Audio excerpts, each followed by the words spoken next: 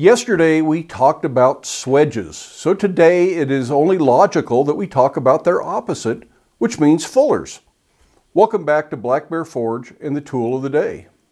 Swedges, of course, are depressions or concavities, and fullers, therefore, are the opposite. They are convex in shape. They're half rounds or V's or whatever a fuller forges a depression in something and can be used for forging grooves or, or various things of that nature.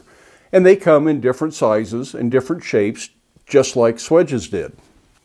So fullers are often used in pairs, just like swedges would be used in pairs, and there would be a top tool and a bottom tool that would work together to create a lengthwise groove or a crosswise groove, either for an accent or some other purpose. And we've used various spring fullers and fullering tools and fullers and butcher tools for quite a few different things as we've made various projects. But this is the traditional way fullers looked.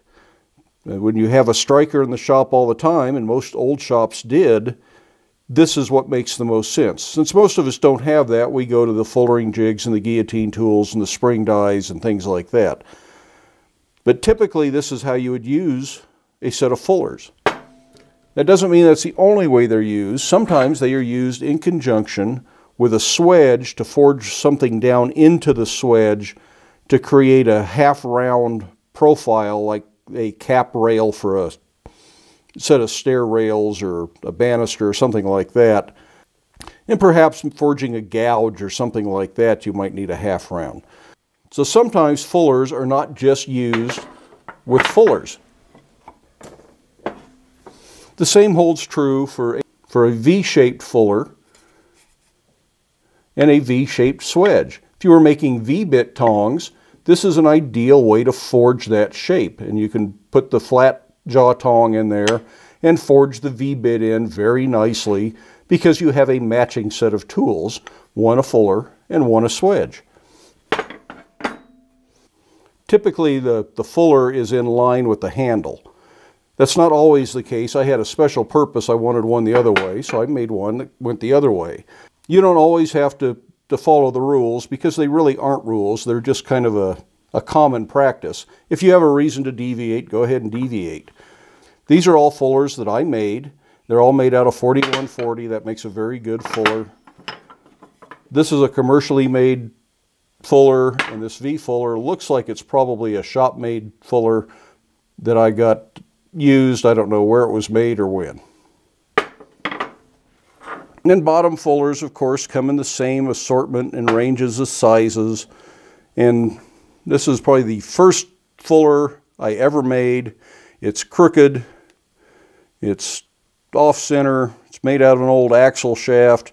But you know what? It still works. And these are all store-bought fullers. They're commercially made.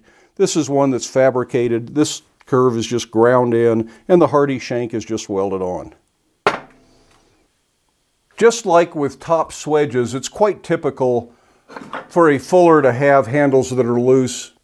Again, I tend to wedge mine because I don't work with a striker, and because Colorado's dry weather means my handles are often not still with the tool when I need it.